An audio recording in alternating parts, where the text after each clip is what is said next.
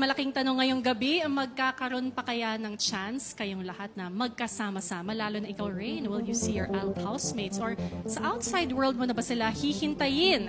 Dylan, Colette at Rain, dire-diretso tayo. Ang unang pangalang aking tatawagin ay ang unang ligtas ngayong gabi. At ang housemate na yon ay ikaw. Rain! Congratulations, Rain! You are safe. You are the only thing that I got right now. One day when the sky is falling, I'll be standing.